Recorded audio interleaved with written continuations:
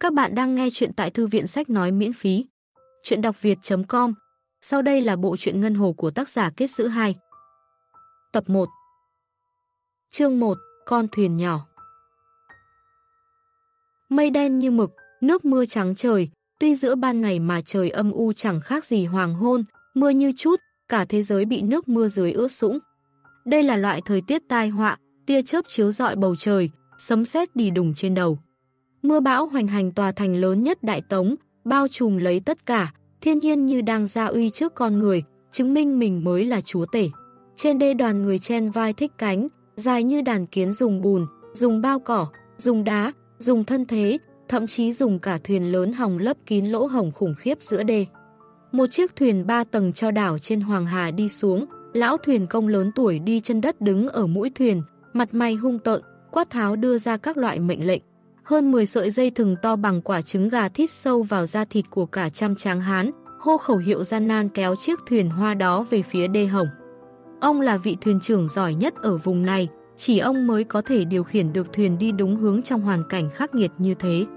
Lão thuyền công thấy thuyền hoa đã tới nơi, dùng toàn lực bám lấy bánh lái rung bần bật liên hồi, quát hai nhi tử, Nguyên Nhất, Nguyên Vũ, đập vỡ ván, mau lên. Hai đại hán trung niên cường tráng đi tới khoảng trống dự phòng ở đáy thuyền, dơ búa lớn, đập vỡ lớp ván cuối cùng. Chỉ một búa thôi ván thuyền dày đã xuất hiện khe hở, nước sống đục ngầu sủi bọt rồi tràn vào, đồng thời toàn bộ khoang thuyền phát ra tiếng động rợn người. Chuyện đã thành, thời gian không còn lại bao nhiêu nữa, hai chàng hán xoay người chạy ngay, dưới sự thúc giục của lão thuyền công tung người lao vào dòng Hoàng Hà.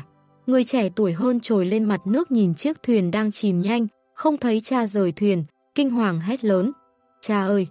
Lão thuyền công quyết hy sinh rồi, nếu ông không ở lại điều khiển rất có thể công sức của mọi người sẽ trôi theo dòng nước, từ từ cùng thuyền chìm xuống nhưng nhìn thấy hai nhi tử nổi lên, khuôn mặt căng, thẳng liền giãn ra, phất tay giống, đi mau, mau lên. Chiếc thuyền hoa chở đầy cát xoay ngang bít lấy lỗ hổng lớn, sóng đánh rơi hết đồ đạc trên sàn thuyền, chỉ chớp mắt đã không thấy bóng dáng lão thuyền công đâu nữa. Người trên đê không bỏ lỡ cơ hội, những ao cát ném ầm ầm xuống nước, sọt trúc chất đá tảng được các tráng hán đẩy xuống chỗ đê vỡ chảy xiết. Dần dần nước chảy chậm lại, toàn bộ quan viên dân phu đứng trên đê không kìm được tiếng reo hò, làm việc càng thêm nhanh nhẹn. Uỳnh! Tia chớp hình mũi đinh ba bổ xuống cây liễu, như một thanh kiếm sắc bén bửa nó làm hai, làm mấy người tránh mưa dưới cây thoáng cái biến thành quả cầu lửa. Đê lớn rung chuyển, lặng lẽ nứt ra từng khe nhỏ, khi chưa ai kịp phản ứng một tiếng động lớn phát ra, từng mảng đất cát sụp xuống. Nước sông đục ngầu không khác gì đàn ngựa hoang phá ra một lỗ hổng còn lớn hơn trước, đám đông đang bận bịu phía dưới đây chỉ chạy được vài bước đã bị nước lũ nuốt chửng. A a a, trời cao ơi! Quan viên lục bào bi phẫn dơ hai tay hướng lên trời quát tháo, sau đó thả người xuống dòng nước giữ, dòng nước xoay một vòng, dễ dàng nuốt chửng cống phẩm nhỏ bé ấy. Mặt đất thành sông, mặt đất thành sông rồi, đê Hoàng Hà đã vỡ. Thiết Gia Trang bị dòng nước hung hãn đổ tới cuốn phăng mọi thứ, thôn trang nhỏ bên sông ấy thoáng chốc biến thành thiên hạ của dòng nước cuồng loạn. Dầm, chiếc thùng gỗ chỉ to bằng thuyền nhỏ hái sen của cô nương Giang Nam không biết đụng phải thứ gì, lập tức nghiêng ngả suýt chìm. Vương Nhu Hoa bám chặt mép thùng, trong mưa gió khản giọng gọi tên trượng phu, nước ộc vào miệng, ông trời như ra lệnh nàng cầm mồm. Nhìn bốn bề nước, nàng không dám gọi nữa, chấp nhận số mệnh ngồi giữa thùng gỗ, cúi dạp người giữ cái ô rách trên lưng, một tay ôm chặt nhi tử còn bọc tã, vừa dùng cái gầu ra sức múc nước đổ đi. Là người trải qua sóng gió, Vương Nhu Hoa biết rõ lúc này mình phải làm gì, trưởng phu thả chết, chứ không chịu bám lấy cái thùng gỗ liên lụy tới đứa con vừa sinh chưa tới 5 tháng, bất kể thế nào nàng cũng không thể để thiết ra không còn hậu nhân. Cho nên thiết vương thị mau chóng thu lại bi thương, vươn cổ nhìn quanh kiếm chỗ để mẹ con nàng cập bờ, nếu không cái thùng gỗ vốn là cái bồn tắm này tuy chắc chắn nhưng không chịu nổi va chạm. Khi sinh mệnh mình vẫn còn thì đứa con này không thể xảy ra chuyện, nếu không xuống âm phủ trưởng phu cũng sẽ đánh chết tươi. Không biết qua bao lâu, thùng gỗ trôi tới đâu, nhưng vô luận sóng gió có nhồi nhét thế nào. Nó vẫn hoan cường nổi dập dình trên mặt nước, Vương Nhu Hoa căng mắt cầm một cái gậy đẩy nó tránh thoát khỏi những vật nguy hiểm. Trên đường nàng nhìn thấy rất nhiều cảnh tượng mà nằm mơ cũng không thấy được. Đầu tiên là một con lợn ngoạm cành cây, khả năng là đã lâu rồi, cơn sóng ập tới, con lợn lại rơi xuống nước. Thiết vương thị hoảng sợ phát hiện con lợn đó không ngờ đang cố sức bơi về phía cái thùng gỗ của mình. Nàng muốn tránh đi, nhưng sợ tới mức chân tay tê dại, không làm sao động đậy được. Dòng lũ cuốn theo xúc gỗ lớn, chẳng biết là xà nhà nhà ai, xô mạnh vào đầu con lợn, nó kêu lên, cố gắng quẫy đạp vài cái rồi bị nước lũ mang đi xa. Nàng thế đấy, khi ánh mắt nàng và con lợn kia đối mắt với nhau, nàng nhận ra con lợn đó rất muốn sống, rất rất muốn sống. Sau đó nàng nhìn thấy hai người bám vào cái cột, cột nhỏ lắm, nếu một người thì còn có thể nổi trên mặt nước chứ hai người khiến cho cái cột nửa chìm nửa nổi. Cho nên bọn họ cứ liên tục phải cố gắng ngoi đầu lên khỏi mặt nước. Vì sóng nước che khuất, Vương Nhu Hoa nhìn thấy bọn họ, nhưng bọn họ không nhìn thấy nàng, nàng kinh hãi thấy một người chợt ấn đầu người khác xuống nước. Vương Nhu Hoa bịt chặt lấy miệng, sợ mình kêu lên khiến người kia thấy được, hắn đã dìm chết cả bạn, nhìn thấy cái thùng gỗ của mình, nhất định càng thêm điên cuồng. Các bạn đang nghe chuyện Ngân Hồ của tác giả Kết Giữ 2 tại Thư viện Sách Nói miễn phí, chuyện đọc việt.com Chương 2 Vận khí của Vương Nhu Hoa Kết quả có rất nhanh, cái cột thoát khỏi níu kéo phòng đi, hai người kia cũng biến mất. Một lát sau con rắn nước dài hơn một trượng cuốn lấy chính cái cột ấy, bên cạnh nó còn có rất nhiều con rắn khác đang trườn tới áp sát. Đám chuột đồng thường ngày thấy rắn là chạy biến mất cũng ngồi trên cái cột. Chẳng mấy chốc cái cột bị rắn với chuột vây kín, thế này thì không duy trì được lâu, tin rằng không lâu nữa cái cột bị nguyền rủa đó sẽ khiến thêm nhiều sinh mệnh biến mất.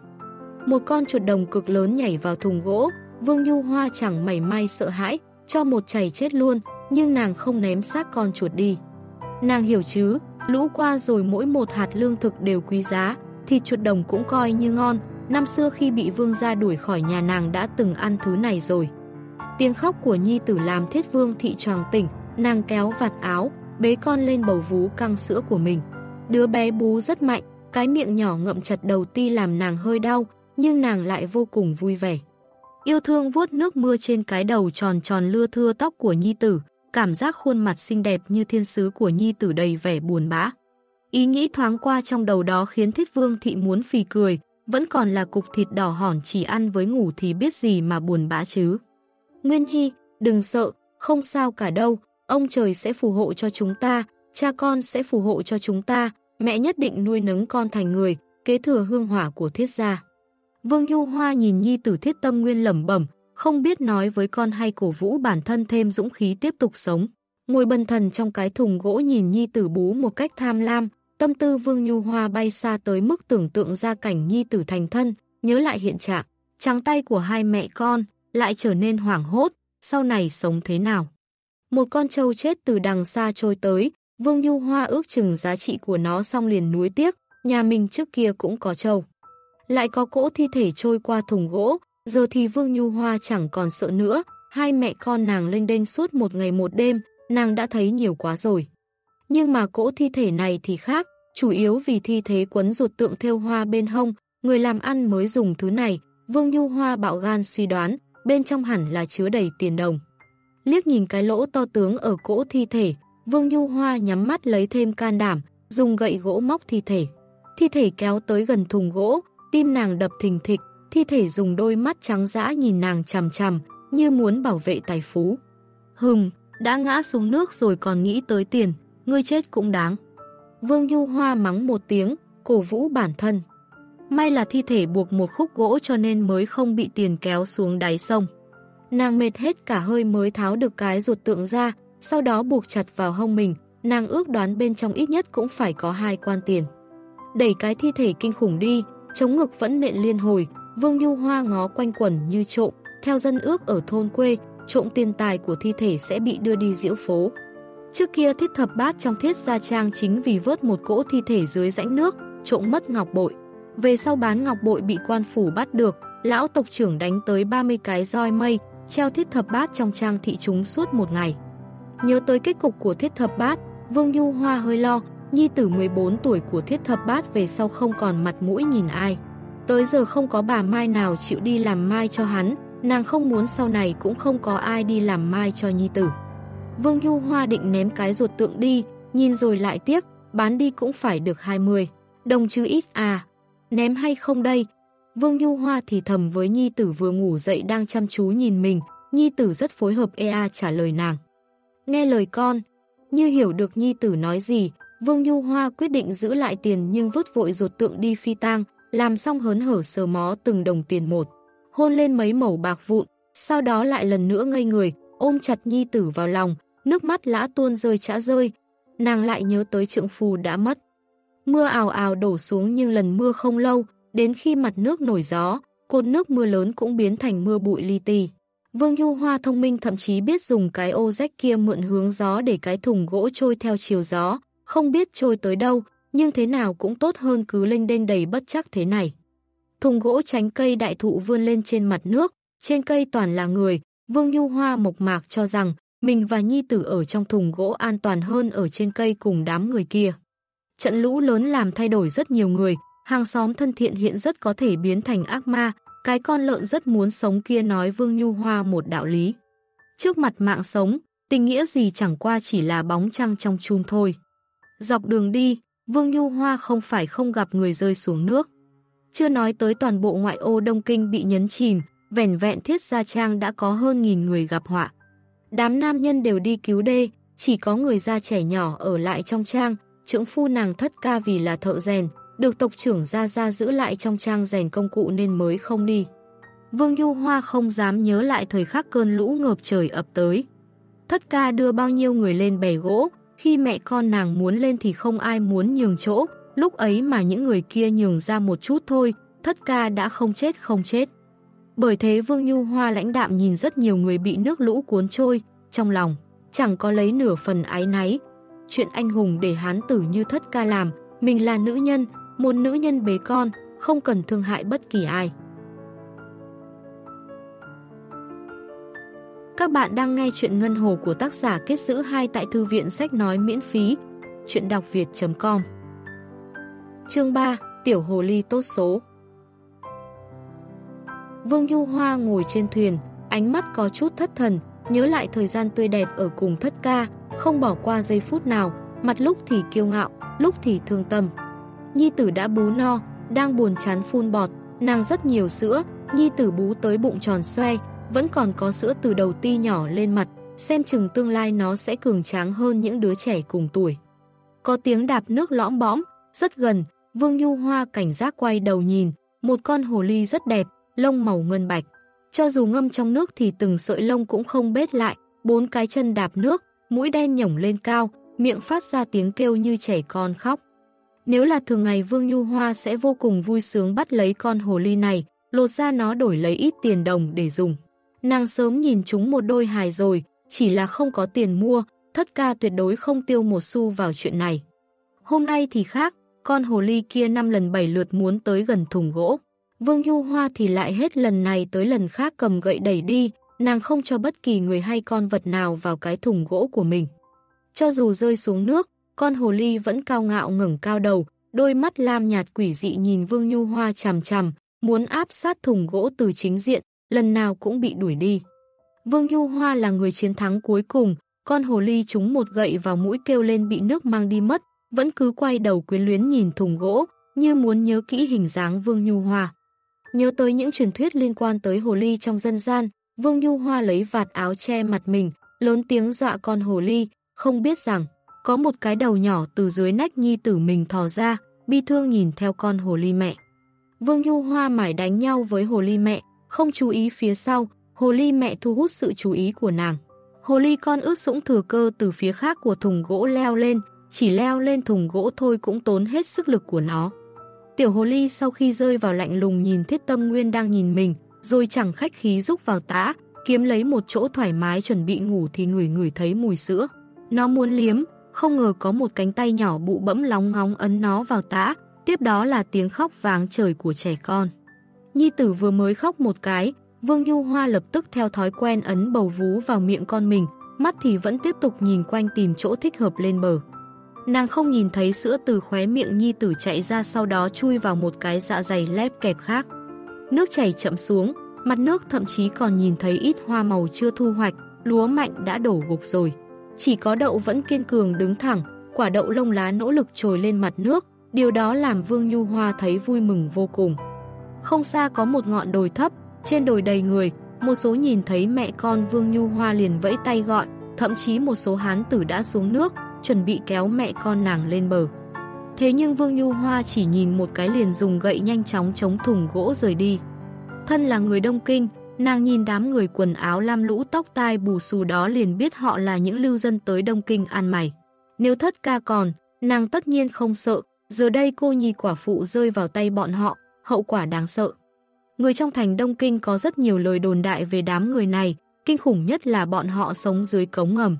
Hay kéo nữ tử và trẻ nhà lành xuống, nữ tử từ đó bật vô âm tín, trẻ con khả năng biến thành tàn phế, mang theo đủ hình thù kỳ. Quái đi ăn mày ở Đông Kinh, đám hán tử nhìn thấy Vương Nhu Hoa đi xa thì chửi bới om sòm, Vương Nhu Hoa vỗ ngực chưa hết sợ, may là thất ca kể cho mình những việc làm tàn ác của chúng. Hộ tịch của cả nhà được cất kỹ trong tã, thất ca cất ở đó vào thời khắc khẩn yếu nhất, thời buổi thiên tai này. Chỉ có người Đông Kinh mới được quan phủ giúp đỡ, còn về phần lưu dân, đều là đám lười nhác, không ở quê quán làm ruộng, tới Đông Kinh họa hại người ta. Kiểm tra hộ tịch xong, Vương Nhu Hoa cẩn thận gấp kỹ, tức giận nhổ nước bọt về phía đám lưu dân, trong mắt nàng, người không làm dụng tử tế đều là thứ phế vật vô dụng. cúi đầu nhìn Nhi tử đang ngủ say, khuôn mặt nhỏ hồng hào, Vương Nhu Hoa thân mật áp chán vào mặt Nhi tử, chỉ cần Nhi tử vẫn còn, mình còn hy vọng sống tiếp. Đứa bé này hiểu chuyện lắm, chỉ cần cho nó ăn no là nó không quấy, dù có đái dầm, y đùn cũng chỉ khóc vài tiếng, giải quyết xong nó sẽ vô cùng yên tĩnh. Con ngươi nó đen láy, nhìn lâu tựa hồ còn có màu lam nhạt, mắt con mình đẹp hết mức, tròn tròn như hai viên bảo thạch đen. Thi thoảng nàng nhìn thấy ánh mắt đam chiêu tâm trạng của người lớn, Vương Nhu Hoa có chút đắc ý, có đứa bé nhà nào mang linh tính như con mình chứ. Nếu như lục công qua được kiếp nạn này, thế nào cũng thích Nguyên Nhi, ông thường nói trẻ con của thiết gia đều là hạng ngu xuẩn. Ra ngoài làm khuân vác thì tốt đấy, nhưng chẳng đứa nào có linh tính để đọc sách, giờ có Nguyên Nhi, chắc là ông sẽ hài lòng. Chỉ là quay đầu nhìn đâu đâu cũng là mênh mông sóng nước, đâu còn chút bóng dáng nào của thiết gia trang yên bình. Vương Nhu Hoa lau nước mắt hoen mi, lại đặt cái ô lên thành thùng gỗ làm buồng, để nó mang mẹ con nàng tới chỗ an toàn. Mưa đã ngừng hẳn, thùng gỗ không còn bập bềnh nữa trôi đi rất êm, không còn những thứ nguy hiểm bị lũ cuốn theo, lòng yên tâm phần nào, nàng đã mệt mỏi lắm rồi. Người dần dần ngả vào thành thùng gỗ mà không hay biết, cho tới khi đụng phải cái gì đó hơi khựng lại. Vương Nhu Hoa dụi đôi mắt nhập nhèm, vừa rồi không cẩn thận ngủ mất, trước mắt nàng là bức tường cao sừng sững phải ngửa hẳn đầu lên mới nhìn thấy người đứng trên. Bây giờ nàng mới phát hiện cái thùng gỗ đã đưa hai mẹ con tới dưới tường thành Đông Kinh. Các bạn đang nghe chuyện Ngân Hồ của tác giả Kết Giữ 2 tại Thư viện Sách Nói miễn phí, chuyện đọc việt.com Chương 4 Tìm chỗ trú chân. 1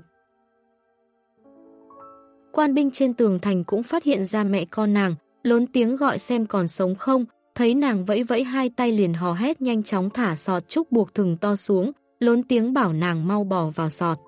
Vương Nhu Hoa không chậm trễ ôm nhi tử nhảy vào sọt trúc, tay vẫn giữ chặt thùng gỗ không chịu buông, bất kể quan binh trên tường thành chửi mắng thế nào nàng cũng không buông.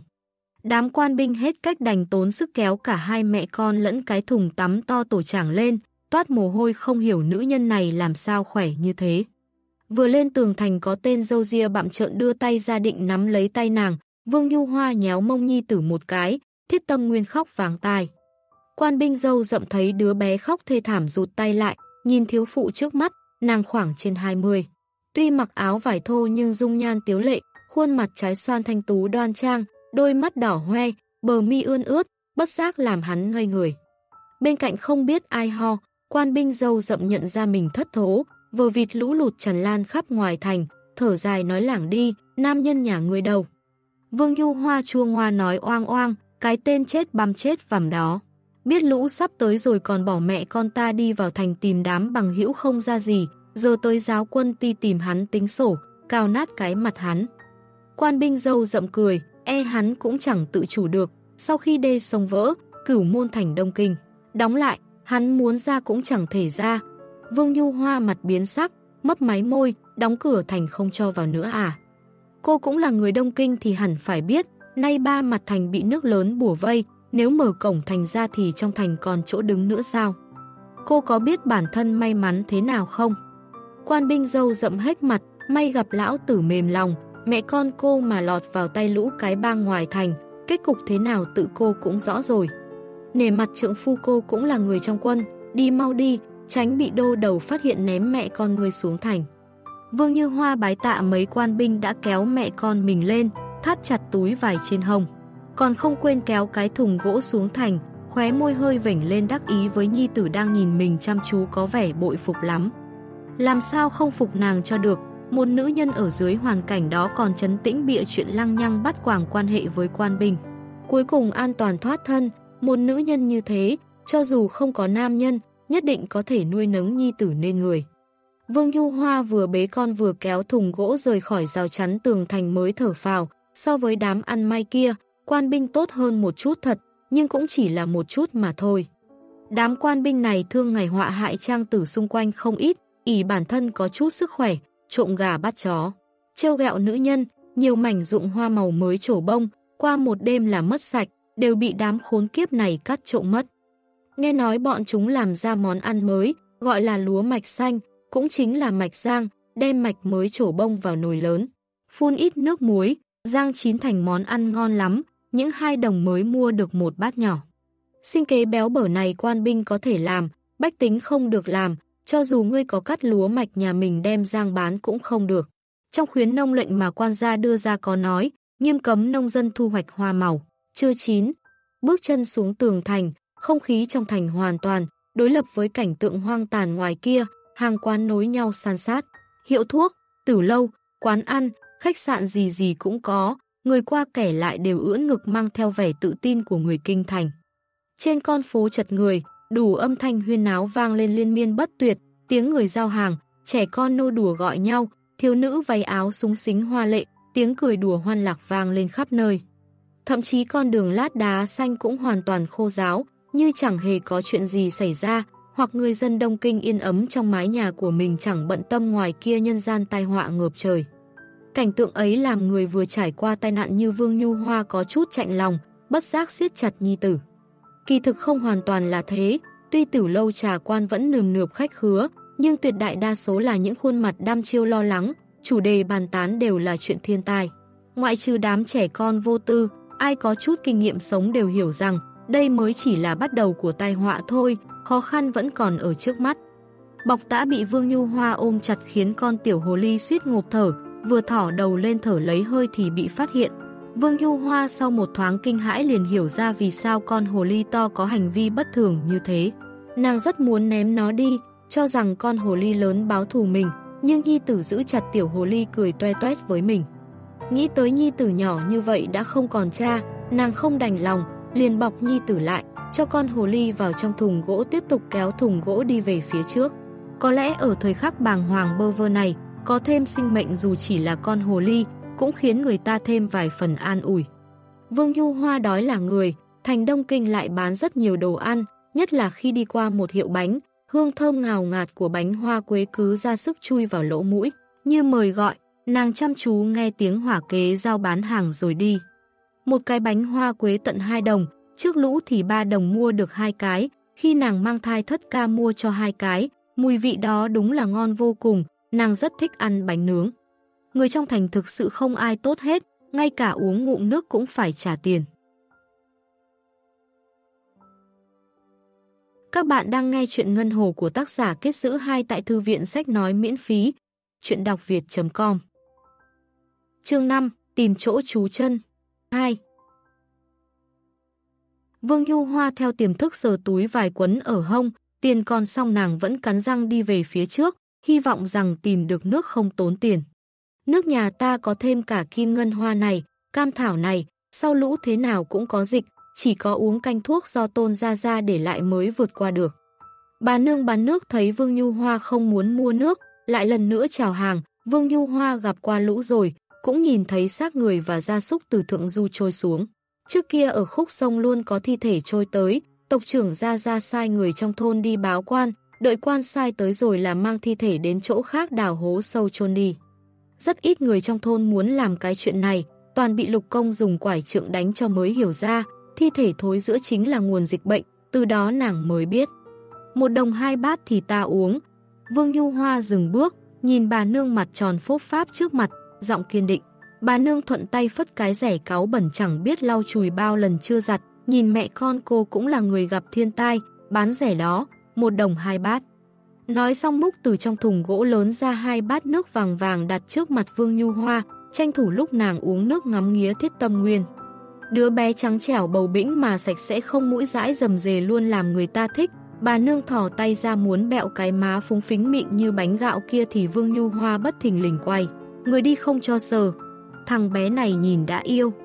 Bà nương ngượng ngùng nói, Vương Nhu Hoa nhỏ giọng, nó sợ người lạ. Đứa bé khóc mấy tiếng quay đầu đi, như để khẳng định lời mẹ mình. Bà nương vẫn híp mắt cười nhìn đứa bé đầy yêu thích, lão thân có mỗi một đứa khuê nữ, nếu cô để đứa bé này lại, coi như nó gặp phúc rồi đấy. Lão thân cho cô hai quan tiền để cô làm hồi môn gả cho người khác, chúng ta từ nay vĩnh viễn không ai gặp ai nữa. Bà ta là người từng trải, nhìn qua đoán được 7-8 phần hoàn cảnh của mẹ con thiết tâm nguyên, rất tự tin. Cô phải biết đây là do lão thân vừa mắt đứa bé này mới ra cái giá như thế, nay ở ngoài chợ người cắm biển bán con nhiều lắm, 500 đồng là đủ.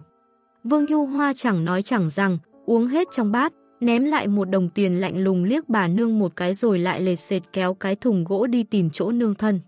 À à, cái đồ không biết lòng người tốt, lão nương đợi lúc thấy ngươi vào thanh lâu nhé. Bà nương tóc váy chửi oang oang cả phố, Vương Nhu Hoa kéo nhi tử vào lòng thêm một chút, kệ những lời nguyền rủa của bà nương đó, hai quan tiền mà muốn nhi tử bảo bối của mình à. Bảo bối của mình sau này lên chiều làm quan ra trận làm tướng, có cho con búp bê vàng cũng không đổi, có nữ nhân nhà lành nào mà lại đeo thanh lâu trên miệng. Bà nương nói đã nói tới thứ ô uế như vậy, e khuê nữ bà ta cách thanh lâu không xa. Bụng réo ủng ục, rốt cuộc không kìm được cám dỗ, bấm bụng mua hai cái bánh. Vương Nhu Hoa đi lang thang trên con phố phồn hoa của Đông Kinh hy vọng nhỏ nhoi tìm thấy người thiết gia trạng chạy vào thành lánh nạn. Như thế ít nhiều còn có thể nương tựa vào nhau, không biết có mấy tên ăn mày áo vá chẳng vá đục lặng lẽ theo sau lưng mình. Nhi tử vốn luôn yên tĩnh ngoan ngoãn lại khóc toáng lên, Vương Nhu Hoa vội vàng kiểm tra tã Nhi tử, thấy không phải đáy ỉa, nghĩ con nói, đang nhìn quanh tìm chỗ kín đáo cho con bú, chợt phát hiện ra mấy tên ăn mày bộ dạng lén lút, nàng sợ đờ người. Nàng biết mình xinh đẹp, nên trải qua chuyện quan binh kia, nàng cố ý bôi bẩn lên má, xóa tóc che đi mặt, đám ăn mày đó không thể nhắm vào mình. Nàng chợt nghĩ tới một khả năng khác, bà nương bán nước kia bỏ tiền thuê ăn mày tới cướp nhi tử của mình. Bắt gặp bộ khoái đi qua, Vương Nhu Hoa chạy tới tố cáo, nhưng bộ khoái đó không tin, gạt tay nàng bỏ đi, hết cách nàng bỏ hẳn 100 đồng mua cái dao lóc xương bén nhọn, cầm chắc trong tay. Đám ăn mày thấy Vương Nhu Hoa có hung khí thì từ từ lùi lại, nhưng không bỏ đi mà theo đằng xa tìm cơ hội. Đi mãi không gặp được bất kỳ ai quen biết, mấy lần Vương Nhu Hoa như rộng bước về phía nào đó, nhưng cuối cùng lại thôi, kiên nhẫn bước tiếp. Bầu trời tối đi, Vương Nhu Hoa ngẩng đầu lên, thấy mây đen đang cuồn cuộn kéo tới, vội vàng tìm chỗ trú mưa, những lưu dân khác đã nhanh chóng túm tụm dưới mái hiên những cửa hiệu bên đường. Thái độ vô cùng bất thiện, liên tục xua đuổi không chịu nhường chỗ cho hai mẹ con nàng, sâu trong ngõ càng có nhiều ăn mày làng vàng, như chó săn trên thảo nguyên đang trầu trực rình mồi. Mưa lác đác rơi xuống rồi mà vẫn chưa tìm được chỗ trú, Vương Nhu Hoa càng lúc càng hoảng hốt, cô sức đi nhanh hơn, trước mắt hai mẹ con nàng đột nhiên chống hẳn. Ở phía bên kia con đường rộng rãi là bức tường cao hùng vĩ trải dài, cao lắm, so với tường thành Đông Kinh cũng không thua kém là bao, lại còn có cả mái ngói nhô ra. Lưu dân chen trúc dưới bức tường khác, chỉ riêng bức tường này không có ai hết, lúc đó đã kiệt quệ Vương Nhu Hoa chẳng kịp nghĩ nhiều. Vội vàng tới chỗ hõm vào của bức tường, đặt thùng gỗ xuống, cùng nhi tử và con hồ ly ngồi bên trong yên tâm nhìn màn mưa bên ngoài. Cái ô rách chẳng che nổi cơn lớn, chẳng mấy chốc quần áo Vương Nhu Hoa đã ướt sũng, nhưng không để thiết tâm. Nguyên vừa thay tã khô dính chút mưa gió nào. Con tiểu hồ ly ngồi trên tã thiết tâm Nguyên như mèo, Vương Nhu Hoa bế con người nghiêng về phía trước lấy thân mình che mưa. Nước mưa chảy xuống dưới cằm nàng thành dòng suối nhỏ, nàng chẳng cảm thấy gì, đôi mắt dữ dội như sói mẹ. Đám ăn mày theo sau mẹ con họ thấy thế là xoay người bỏ đi ngay, lưu dân khác thì bộ dạng vui mừng trước tai họa của người khác. Nhi tử cả ngày ngoan ngoãn lúc này lại quấy khóc, miệng gào chân tay quẫy đạp, tiểu hồ ly cũng có cảm giác bất an, hang của hổ luôn trống, nhưng không phải chỗ trú mưa, nấp vào đó chết càng nhanh. Các bạn đang nghe chuyện Ngân Hồ của tác giả Kết Giữ 2 tại Thư viện Sách Nói miễn phí, chuyện đọc việt.com Chương 6 Tội chết Vương Nhu Hoa mệt lắm rồi, mệt mỏi khiến nàng không còn sức đâu nghĩ tới chuyện khác. Nhi tử có quấy cũng chỉ đơn thuần cho rằng là đói thôi, ấn vú vào mồm con, nàng vẫn cầm dao cảnh giác nhìn bên ngoài. Sự cảnh giác của Vương Nhu Hoa chẳng duy trì được bao lâu, suốt một ngày một đêm bôn ba đã rút cạn sức lực cuối cùng của nàng, tóc nàng ướt dẫm, gương mặt nhợt nhạt, áo vải nhuộm chẳng tốt, chảy dòng nước màu lam trên da nàng, chiếc chăn mỏng mang tới chút ấm áp, người dần ngả ra sau, bất chi bất giác dựa vào thành thùng gỗ ngủ mất. Thiết tâm nguyên ngừng khóc, con hồ ly đang vừa ăn nửa cái bánh vừa ngó nghiêng xung quanh thấy thiết tâm nguyên đang lóng ngóng giúp mẹ cài lại vạt áo, dựa cổ mẹ mình, còn hít hít. Hồ ly con không biết đây là hành động cực kỳ bất thường của đứa bé chưa đầy năm, nên lại cúi đầu gặm bánh. Trên tường cao có một cái lỗ nhỏ, đó là nơi dùng để thoát nước, hiện đã tắc hoặc có lẽ là thay dòng rồi, mưa to như vậy mà chẳng có mấy nước chảy ra. Tiếng bước chân nặng nề từ xa truyền tới, đám lưu dân bên đường đang ồn ào thoáng cái trở nên yên tĩnh, con hồ ly thoát cái cảnh giác ngẩng đầu lên. Một thân hình cao, lớn sừng sững chắn hết ánh sáng vốn chẳng còn nhiều nhận gì trong cơn mưa ngày tàn, đó là viên võ tướng, cưỡi trên con ngựa cao to, con chiến mã đó rất cao. Người cưỡi trên lại còn toàn thân khải giáp, càng thêm hùng tráng, đầu cũng đội mũ trụ kín mít, chỉ có ánh mắt lạnh băng lộ ra ngoài. Á, bị nhi tử cắn mạnh một cái, Vương Nhu Hoa giật mình tỉnh lại, còn đang ngơ ngác thì thấy một cái mã sóc dài chĩa tới mặt. Nàng kinh hoàng rút dao ra nhưng lập tức bị đánh rơi, kỵ sĩ như ma thần chậm chậm thức chiến mã tới, muốn đâm ghim nàng lên tường. Sợ tới mức chóng váng không nói nổi lên lời, Vương Nhu Hoa chớ mắt nhìn không hiểu chuyện gì đang xảy ra. Thiết tâm nguyên khóc ẩm ý như cố lấy tấm thân nhỏ bé chẳng thể ngăn nổi mã sóc để che chắn cho mẹ mình. Khi mã sóc sắp đâm tới nơi Vương Nhu Hoa mới như nổi điên giấu nhi tử ra sau lưng, đôi mắt to nhìn chầm chầm kỵ sĩ, quát, đừng hại con ta. Giọng nói đều đều từ sau mũ trụ kín mít truyền ra, vô cớ tới gần Hoàng Thành 10 bước, giết. Vương Nhu Hoa ngơ ngác ngước đầu nhìn bức tường cao kia, tích tắc điếng người, chẳng phải Hoàng Thành là gì, răng va vào nhau cầm cập, đê. Dân phụ không biết. Liễn giá của Hoàng thượng ở đây, mỗ không lý nào bỏ qua cho ngươi được, con ngươi còn nhỏ không biết, tất nhiên mỗ sẽ đưa tới mẫn cô viện, còn ngươi, quốc pháp vô tình, chết đi. Mã sóc trên tay kỵ sĩ đâm ra khều cái bọc tã lên, tay trái ôm lấy thiết tâm nguyên, mã sóc tay phải lại muốn đâm xuống. Vương Nhu Hoa tuyệt vọng nhìn nhi tử khóc gào không thôi, từ từ nhắm mắt lại. Dương Hoàng Sứ, dừng tay. Ngay lúc ngàn cân treo sợi tóc, từ trong đám đông có quan viên thanh bảo, dáng không cao nhưng chắc người, da đen đúa như lão nông bước ra, nghiêm giọng quát. Võ tướng kia trình độ đã tới mức thu phát tự nhiên, nghe tiếng quát thì dừng mã sóc lại, quay đầu nhìn, hắn ngồi trên ngựa như chiến thần vậy mà trước mặt quan viên ấy, ngay cả lưng chẳng dám thẳng lên. Hồ đồ, quan viên tới trước chiến mã, nắm mã sóc kéo xuống, võ tướng ấy là Dương Hoài Ngọc, trưởng tôn đời thứ năm của Dương gia, nhưng khi đối diện quan văn đen đúa kia, vội vàng xuống ngựa. Bởi người trước mặt là long đồ các đại học sĩ bao trưởng vang danh thiên hạ, cũng là bậc trưởng bối của hắn, khom người kính cẩn nói, nông phụ này phạm phải tội chết. Bao trưởng giận dữ nhìn Dương Hoài Ngọc, chỉ đám đông chen lấn đằng xa, phạm phải luật trời tất nhiên là phải hỏi tội. Nhưng đây là một nông phụ, không phải quân tốt trong quân của ngươi, tay cầm dao át phải có nguyên do khác. Ngươi là võ quan, đâu ra quyền xử trí bách tính. Vương Nhu Hoa dù vẫn sợ tới nhũn người vẫn nhân cơ hội chạy ùa tới cướp lấy nhi tử, kiểm tra thấy con không sao, ôm ghì vào lòng, khóc tới không ra tiếng. Dương Hoài Ngọc gãi đầu, dù là đề hình ti hay khai phong phủ tới phán xử thì cũng chỉ có đường chết thôi, tiểu chất không cho rằng bá phụ sẽ mở cho đường sống. Bao trừng hừ một tiếng, quốc pháp một khi hình thành át phải theo luật chấp hành, dù luật pháp không tính tới nhân tình, nhưng hoàng quyền không được xem nhẹ, đây là thiết luật. Hoài Ngọc, ngươi tuổi trẻ khí thịnh, sau này vạn vạn lần không được có hành vi lỗ mãng như thế. Nay phụ thân ngươi đảm nhiệm chức phòng ngự sứ Phượng Châu, bao nhiêu cặp mắt đang dõi vào, ngươi làm hoàn thành sứ thân quân long vệ của bệ hạ. Vạn vạn lần không được để người ta nắm lấy điểm yếu, nếu không sẽ liên lụy tới phụ thân ngươi. Phụ nhân này đúng là phạm phải tội chết, nhưng bọn họ là cô nhi quả mẫu cũng đáng thương, ngươi giết người giữa đường, sau này sẽ rất bất lợi cho thành danh. Dương Hoài Ngọc khom người tạ ơn, đa tạ bá bá giáo huấn, tiểu chất nhớ rồi. Vương Nhu Hoa muốn chạy khỏi nơi này, nhưng xung quanh toàn là binh sĩ giáp trụ bao vây, không còn đường đi nữa, chỉ biết ôm chặt lấy nhi tử nghe mệnh trời, nàng đâu có ngờ rằng hai mẹ con mình chẳng qua. Chỉ tới chân tường tránh mưa một lúc mà rơi vào cảnh nguy tới tính mạng. Bao trừng giáo huấn chất tử xong quay sang nhìn Vương Nhu Hoa đang run lẩy bẩy trong mưa, tới gần vài bước nói, lão phu sẽ an bài thỏa đáng cho con ngươi, ngươi không cần phải lo.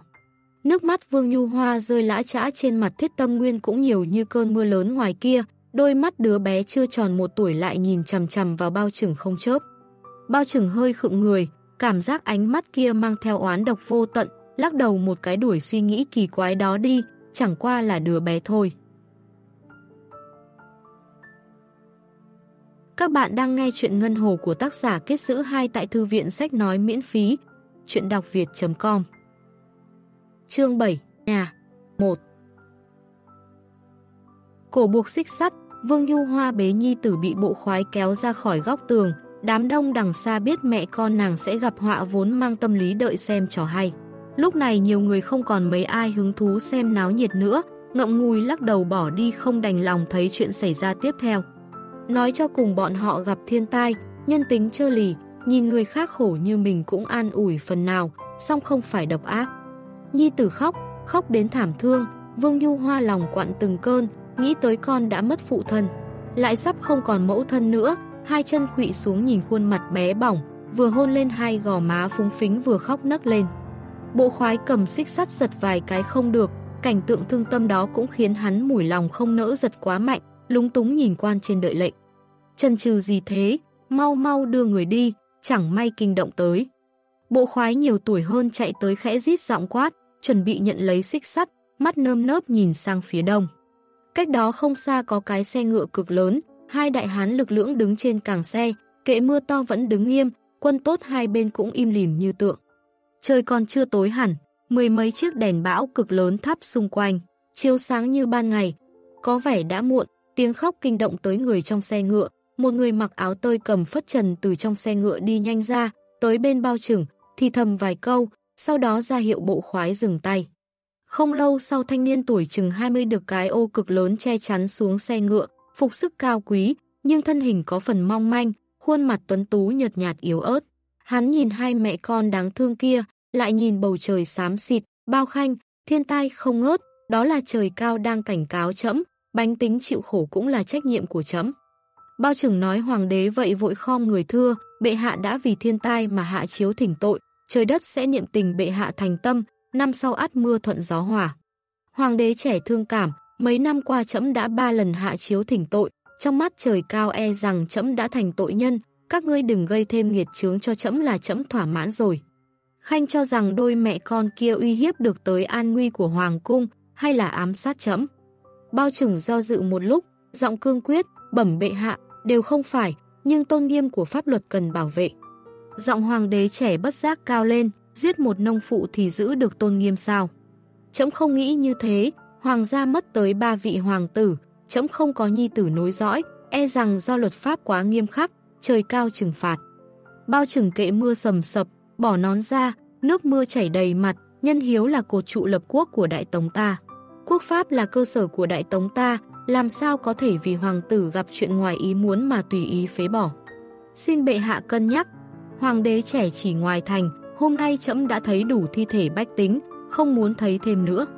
Truyền chỉ, nay cho mượn một góc mái hiên hoàng gia, để mẹ con họ an thân, bao khanh chớ nhiều lời. Nói xong lại nhìn về phía đôi mẹ con kia, đứa bé đang tròn xoe mắt nhìn mình, lòng không khỏi nhớ tới ba. Nhi tử chết non, thương tâm phẩy tay với hoạn quan xoay người lên xe ngựa. Bao trưởng đợi hoàng đế vào xe rồi đi tới đích thân cởi xích sắt trên cổ Vương Nhu Hoa, cười ôn tồn, bệ hạ nhân hậu. Mẹ con ngươi thoát chết là may mắn, song dưới chân hoàng thành không tiện an ra, lão phu tìm cho ngươi chỗ ở khác, thế nào? Vừa rồi Vương Nhu Hoa nghe đoạn đối thoại vừa rồi giữa hoàng đế và bao trưởng không sót chữ nào, biết mình không chết nữa, bản tính ương ngạnh bộc phát lại thêm chẳng hề có thiện cảm với bao trưởng. Nàng ôm chặt nhi tử nói lớn, dân phụ là con dân của bệ hạ, tất nhiên là nghe bệ hạ an bài, thà dựng lều cỏ dưới chân hoàng thành chứ không ở trong đại trạch viện ngài cho. Viên hoạn qua nhìn Vương Nhu Hoa bế nhi tử đi tới chân tường thì cười, câu này nói có lý lắm. Nhà cỏ bệ hạ cấp cũng vinh diệu hơn đại trạch người ta, đây là năm quan tiền bệ hạ thưởng cho mẹ con ngươi. Kệ bao trừng xấu hổ, vừa nói vừa cởi áo tơi trên người đắp cho Vương Nhu Hoa, còn cái này của cha ra cho ngươi, vì câu nói vừa rồi. Vương Nhu Hoa hớn hở nhận lấy năm quan tiền đồng nặng trình trịch, sự thể chuyển biến quá nhanh làm phản ứng của nàng có chút chậm chạp. Đến khi nhớ ra phải cảm ơn thì đã không thấy bóng dáng viên hoạn quan tốt bụng kia đâu nữa. Bao trừng buôn một tiếng thở dài, ngươi nên tự biết điều. Ghét kẻ này vừa nãy một mực muốn giết mẹ con mình, Vương Nhu Hoa hứ một tiếng mang phần thưởng về chỗ cũ. Bao trừng nheo mắt nhìn quanh, đề phòng người khác mang tâm tâm lý cầu mai học theo mẹ con nàng, lệnh với bộ khoái, trừ đôi mẹ con này ra, bất kỳ kẻ nào tới gần Hoàng Thành 10 bước, chém. Vâng, đám bộ khoái đồng thanh đáp, đi tới chỗ cách Hoàng Thành 10 bước, vung đao quát, đám ngoài kia dương tai lửa của các ngươi lên mà nghe đây, kẻ tới gần Hoàng Thành 10 bước, chém. Đám đông líu díu vâng dạ, người nhát gan thì bỏ đi xa cho an toàn, người bất chấp cứ ở. Chỗ cũ, phần đông nhìn mẹ con Vương Nhu Hoa với đủ loại ánh mắt đố kỵ, hâm mộ, có người không khỏi nghĩ, nếu lúc đó mình cũng dũng cảm một chút. Các bạn đang nghe chuyện Ngân Hồ của tác giả Kết Giữ 2 tại Thư viện Sách Nói miễn phí, chuyện đọc việt.com Chương 8, Nhà 2 Vương Nhu Hoa lúc này còn để ý gì tới người khác, cho Nhi Tử vào thùng gỗ, đắc ý lắc cái đầu toàn nước mưa, Nhi Tử. Chúng ta chúng lớn rồi, bây giờ mẹ con ta có 8 quan tiền, con nói xem chúng ta xây một căn nhà nhỏ ở đây được không? Số tiền còn lại mẹ để dành sau này cưới cho con một thê tử như hoa như ngọc. Thiết tâm nguyên há cái mồm không răng cười khanh khách, tiểu hồ ly nhát gan nãy giờ trốn biệt, thấy xung quanh không còn ai nữa mới từ trong tã chui ra cũng kêu loạn hưởng ứng. Vương Nhu Hoa thoát đại nạn, tâm tình tất nhiên cực tốt, lấy tay đẩy đầu tiểu hồ ly một cái, ngươi cũng có phúc lắm. Thấy tã của nhi tử đã ướt hết, Vương Nhu Hoa không dám chậm trễ, vội vàng thay cái khác, tuy cũng ẩm, nhưng dù sao vẫn tốt hơn cái vừa rồi, trẻ nhà nông mà, khỏe lắm, chút nước thế này không sợ. Có chỗ lập thân Vương Nhu Hoa tựa hồ có sức lực vô biên, trong thời gian ngắn nàng dùng vải dầu và mấy cành cây dựng lên một cái lều đơn giản. Còn đem toàn bộ quần áo khô trải trong thùng gỗ, bế nhi tử nhảy vào thùng chuẩn bị đi ngủ. Mưa tuy ngớt nhiều nhưng vẫn không chịu dừng, thi thoảng bị gió thổi hắt vào góc tường, rơi lục bộp lên nóc lều. Vương Nhu Hoa ngồi trong thùng gỗ cầu khẩn, thất ca, đều do chàng trên trời linh thiêng phù hộ. Chàng nhất định phù hộ cho con chúng ta lớn lên khỏe mạnh như ngé non, để sinh con đẩy cái, truyền thừa hương hỏa, thiếp cũng nỗ lực làm việc, nuôi con khôn lớn. Đó là suy nghĩ chân thật nhất của nàng, dù hoàng đế hay quan lớn, tướng quân đều cách nàng quá xa, nàng không hiểu tôn nghiêm pháp luật hay hoàng quyền, chỉ coi đây là trưởng phu hiển, linh phù hộ. Nhịp thở Vương Nhu Hoa đều đặn, nàng đã ngủ rồi, không biết nhi tử vươn đầu ra khỏi tã, mồm há ra lưỡi uốn mấy lần như luyện tập. Cuối cùng phát ra được âm thanh cổ quái làm con hồ ly nằm dưới chân dựng tên lên một lúc, không nghe thấy tiếng gì khác, lại cuốn đầu nhỏ vào đuôi của mình ngủ tiếp. Muốn kiếm được một chỗ che mưa tránh gió ở thành Đông Kinh khó như lên trời. Mọi thứ ở nơi này đều là vật có chủ. Cho dù cành cây khô vô tình rơi ra ngoài tượng viện, chỉ cần Vương Nhu Hoa muốn nhặt cũng sẽ có người đi ra ngăn cản, hung dữ cướp lấy cành cây khô trong tay nàng, sau đó lườm một cái bỏ đi. Cái gì cũng phải trả tiền. Vương Nhu Hoa đi loanh quanh trên phố nửa ngày, cuối cùng uổng công trở về, nàng muốn tìm một công việc khâu vá giặt rũ cũng không được, tin tức về người Thiết Gia Trang cũng chẳng có. Thiết Gia Trang là thôn trang nhỏ, ít người từng đi khỏi thôn quá 10 dặm, dù ở ngay gần Đông Kinh cũng không có mấy người từng vào kinh, bởi thế muốn nghe ngóng tin rất không dễ dàng. Lại mua thêm hai cái bánh hấp lót dạ. Hôm qua mua hai cái bánh hấp chỉ mất 2 đồng, hôm nay phải 3 đồng mới có thể lấy được hai cái bánh hấp từ tay tên hỏa kế. Tiền không tiêu bừa được, sáng nay Vương Nhu Hoa thức dậy là đem tiền nhét vào cái lỗ hổng kia rồi, cuối cùng cắn răng nhét cả tiểu hồ ly vào trông coi rồi mới cõng nhi tử ra phố tìm đường sống. Khi đi qua chợ người, Vương Nhu Hoa gần như phải chạy, nàng chưa bao giờ thấy cảnh con người xếp thành hàng như gia súc. Bị người ta sờ trên nắn dưới, vạch cả mồm ra xem răng, sau đó xác định tuổi mua về. Rất nhiều nữ tử trẻ chỉ mặc chiếc áo mỏng manh, đứng trong lều vải, mặc cho mụ bảo tử mặt bôi son chát phấn hoặc là nam tử bụng bự đi vào lựa chọn. Từ rất lâu Vương Nhu Hoa đã biết, ở Đại Tống này mua bán nhân khẩu sẽ bị quan gia truy cứu, nhưng ở nơi này chẳng có quan sai nào. Quản, nhớ tới hôm qua mình mệt quá dựa vào góc tường ngủ một chút thôi mà thiếu chút nữa bị chặt đầu, Vương Nhu Hoa từ đáy lòng khinh thường những kẻ mặc áo quan. Đi qua một cửa hiệu bán quan tài, Vương Nhu Hoa không kìm được nước mắt, thi thể của thất ca không cách nào tìm được nữa rồi, nàng không thể để trưởng phu thành cô hồn dã quỷ được.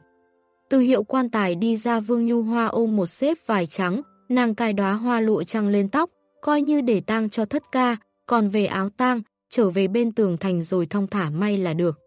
Trên đầu thiết tâm nguyên cũng buộc một cái mũ tang nho nhỏ do Vương Nhu Hoa may qua loa trong cửa hiệu, nàng muốn để thất ca biết, dù hắn chết rồi vẫn có người còn hoài niệm. Vải trắng là thứ vải mềm thượng hạng, giá cả tất nhiên không rẻ, Vương Nhu Hoa dùng 30 đồng mua thứ này mà không nhíu một cái, ngay cả quá trình mặc cả cũng không có. Mặt đất mấp mô, hôm qua hoàng đế xuất tuần dùng đất vàng lót đường thì chắc chắn phải làm rồi, vì thế trên mặt đất ít nhiều còn thấy dấu vết của đất vàng. Chỉ là đất vàng còn rất ít, một lão hán còn đang quét lấy đất vàng, thành đông kinh đông người, mọi thứ đều quý giá, trong mắt người đông kinh không có thứ gì là vô dụng. Những món ăn ngon xếp từ đầu đường tới cuối đường bốc hương thơm nghi ngút chẳng có chút sức hấp dẫn nào, sau khi mua một ít lương thực và nồi sắt. Vương Nhu Hoa lại mua một cái bánh hoa quế nhỏ, cẩn thận gói vào khăn tay chuẩn bị về sẽ nhai nát cho Nhi Tử ăn. Vương Nhu Hoa đeo Nhi Tử trước ngựa, tay xách nồi sắt, lưng còn cõng bao lương thực, bốn cây gậy trúc kẹp ở nách, nơm nớp chạy về nhà, nàng cứ lo cho sổ tiền mình cất giấu. Về tới chân Hoàng Thành nàng mới thở phào một hơi, con đường lớn bên ngoài người qua kẻ lại nhưng chân tường thì không có lấy một bóng người, đến cả chó hoang cũng không có. Cũng phải thôi trên tường là thị vệ võ trang đầy đủ, ở góc tường. Thậm chí còn có một cái cung rất to được lắp trên giá, nhà mình ở ngay góc tường, đừng nói là người khác không dám đi tới, ngay chính bản thân Vương Nhu Hoa cũng tim đập chân run. Mũi tên trên cung lớn phải to bằng quả trứng gà, đầu tên dưới ánh mặt trời lấp lóe, nhìn là biết hung khí giết người. Nơm nớp lo sợ đi tới góc tường, những thị vệ kia tựa hồ nhận ra nàng chỉ đưa mắt nhìn chằm chằm chứ không dùng cung bắn. Vương Nhu Hoa về tới nơi mới dám xác định từ nay về sau cái góc tường này thực sự thuộc về mẹ con nàng rồi. Các bạn đang nghe chuyện Ngân Hồ của tác giả Kết Giữ 2 tại Thư viện Sách Nói miễn phí, chuyện đọc việt.com Chương 9 Chim én tha rác xây nhà 1 Lúc này mặt trời đã lên cao, mặt trời tháng 5 một khi thoát khỏi sự trói buộc của mây đen là ra sức phun hơi nóng xuống mặt đất. Chẳng bao lâu hơi nước trong thành Đông Kinh bốc hơi, chẳng cần cử động toàn thân cũng nhớp nháp như trong lồng hấp. Hoàng thành địa thế cao nên coi như còn khô giáo, gió từ phía tướng quốc tự thổi tới mang theo chút dư âm chuông sáng. Các vị hòa thượng đang cầu nguyện cho những vong hồn, hy vọng những tiếng chuông xa xăm có thể mang linh hồn của họ lên thiên quốc.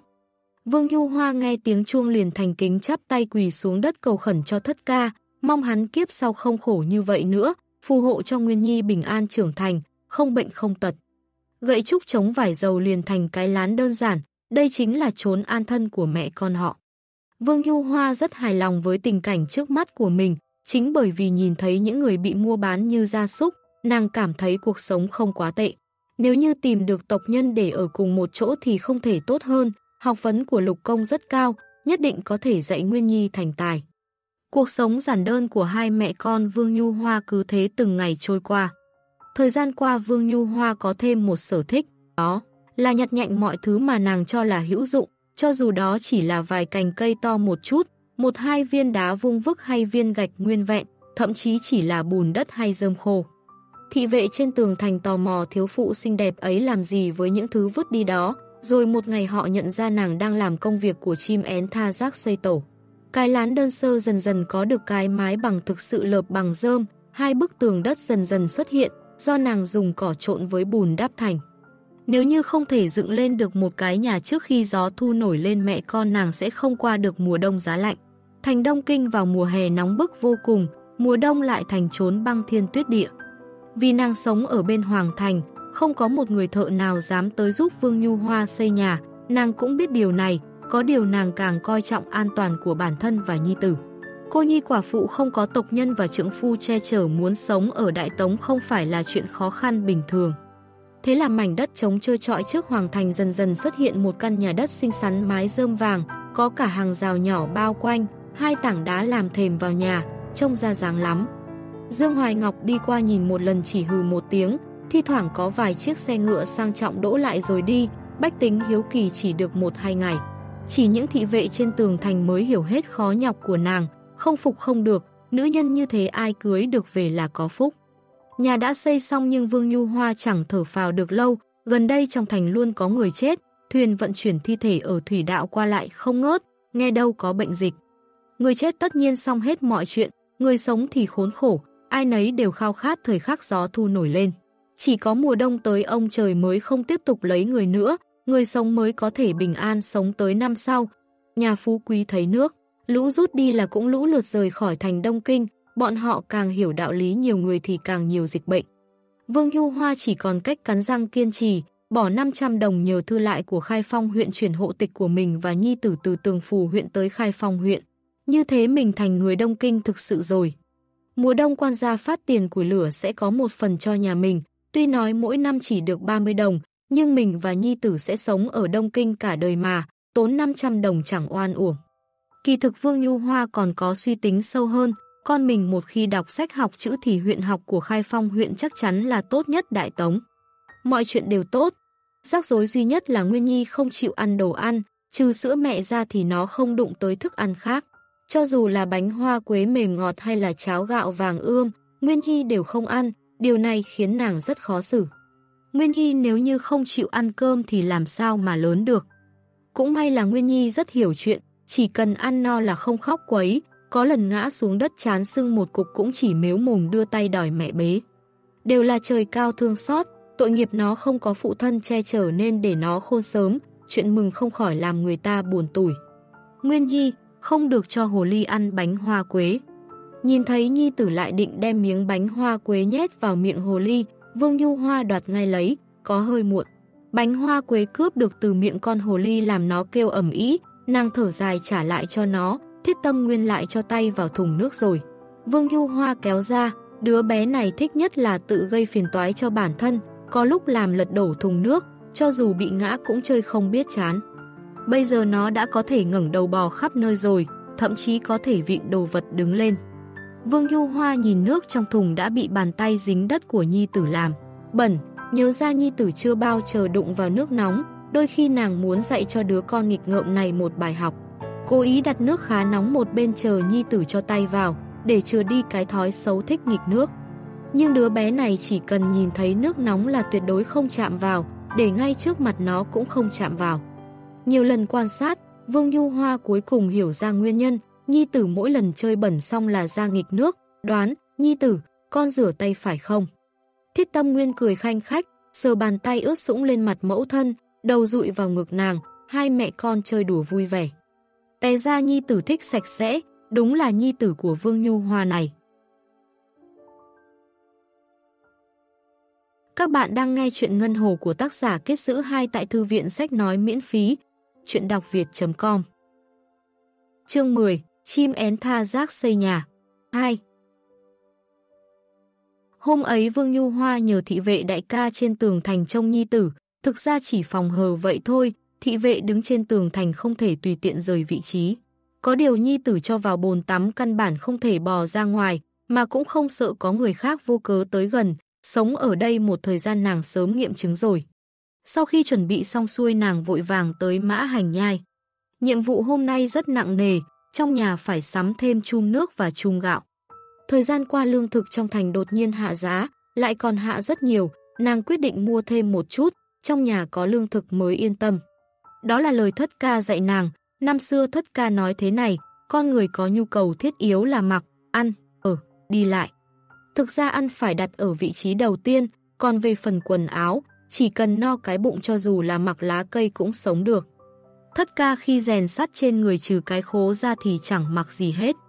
Trong hiệu rèn ánh lửa hừng hực nhiều lúc chỉ có nàng và thất ca, thất ca mỗi lần đập búa xuống là đốm lửa bắn tứ tung, miếng sắt, nóng đỏ trên đe lúc sáng lúc tối, đốm lửa bắn lên lồng ngực bóng lưỡng của thất ca nảy vài cái rồi tắt ngúm rơi xuống. Đó là một nam nhân cường tráng tới mức tựa hồ có thể vác được cả ngọn núi. Vương Nhu Hoa lắc mạnh đầu, khịt mũi mấy cái, nhìn nhi tử đang bám vào bên bồn tắm EA nói chuyện với mình, nàng lau khóe mắt ẩm ướt. Không thể mềm yếu, nàng không cho phép mình được như thế, thơm má con một cái rồi hòa vào dòng người bên ngoài. Cả người sống lẫn người chết đều qua lại trên con đường phồn hoa này, chẳng qua sống thì thì đi, chết thì bị người ta chất đống lên xe kéo ra ngoài. Bệnh dịch vẫn phát sinh, đó là nguyên nhân vì sao mà giá lương thực lại giảm, đường rơi thành đông nghìn nghịt, cửa hàng cửa hiệu thì vắng tanh. Phàm là người trong nhà còn có cái ăn là dứt khoát không rảnh rỗi chạy ra đường, chỉ sợ bị dính bệnh.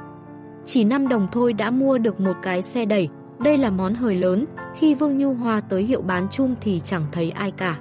Nàng gọi lớn mấy tiếng liền cũng chẳng ai ra chào hỏi, đi vào nhìn thấy một đôi chân đi giày hoa của thương cổ ngã trong phòng. Vương Nhu Hoa thất kinh hoảng hốt lùi lại. Đứng giữa con phố vắng lặng khôi phục lại tâm thần bất an, Vương Nhu Hoa lại lại đi vào trong hiệu, lăn từ bên trong ra một cái chung lớn. Đánh vật rất lâu mới cho lên được xe đẩy, quay đầu nhìn bốn phía không thấy ai, đi vào vần ra hai cái chung lương thực lớn, khi ra bỏ lên quầy 10 đồng tiền. Đẩy ra đi được trăm bước, Vương Nhu Hoa lại quay về, nhặt lại 6 đồng tiền trên quầy, thè lưỡi nói nhỏ với vị trưởng quầy ngã trong phòng, vừa rồi quên mặc cả. Thiết tâm nguyên bị nhốt trong bồn tắm không đi đâu được, hâm mộ nhìn con tiểu hồ ly hết nhảy ra lại nhảy vào, chơi không biết chán. Từ cái lần tiểu hồ ly đái một bãi khai mù trong bồn tắm, nó bị thiết tâm nguyên hành hạ cho không dám đái ở gần nhà nữa. Hôm nay mẹ không có nhà. Thiết tâm nguyên rất muốn đi loanh quanh xem sao, thế là y dồn hết chăn lót trong bồn tắm sang một bên, sau đó trèo ra ngoài. Ngã một cú chổng bốn vó lên trời, thiết tâm nguyên được tiểu hồ ly giúp đỡ lật người lại, vịn vào tường thành bắt đầu chuyến đi xa đầu tiên của mình ở thế giới này. Chân tường hoàng thành toàn là rêu xanh, còn có rất nhiều lá rụng, thiết tâm nguyên mới đi được mười mấy bước liền nhận ra hai cái chân của mình hiện giờ căn bản không thể chịu được chuyến đi xa như vậy. Bẹt một cái ngồi xuống đất, dựa vào tường thành nhìn con đường xa xa.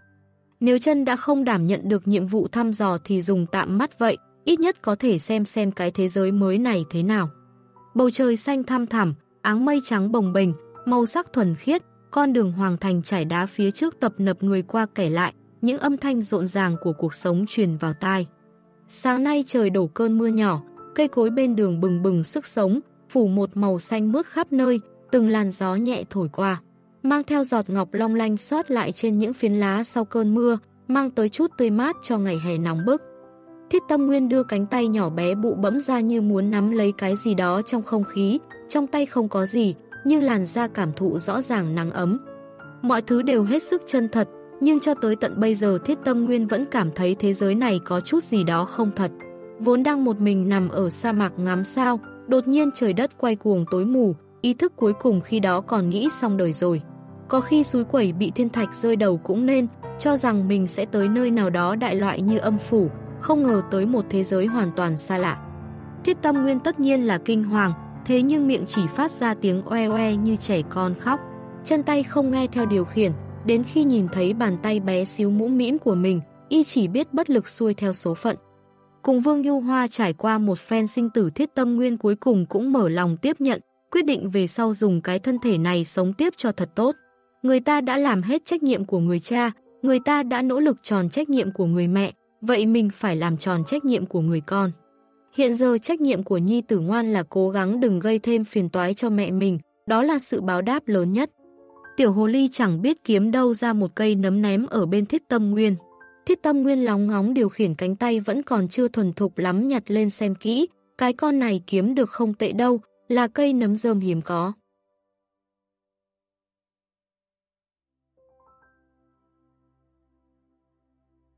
Các bạn vừa nghe xong tập 1 của bộ truyện Ngân Hồ của tác giả Kết Giữ 2 tại Thư viện Sách Nói miễn phí.